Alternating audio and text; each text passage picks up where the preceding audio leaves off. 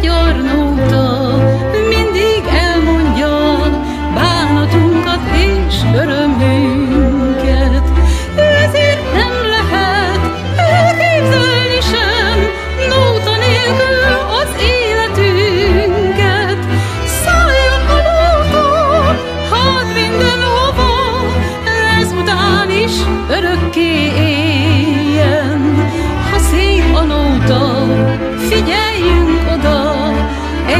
Engedjük, hogy szívünkhöz érjen.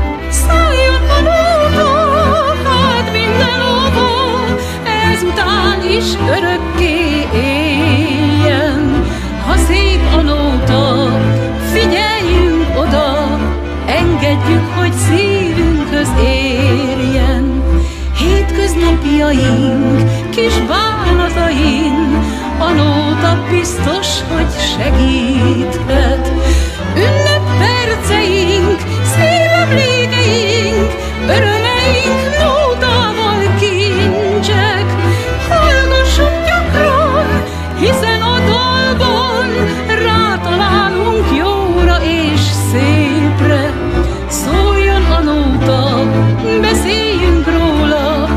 sosem mehessen feledésbe.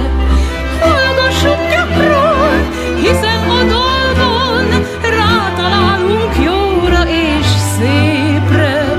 Szóljon a nóta, beszéljünk róla, sosem mehessen feledésbe.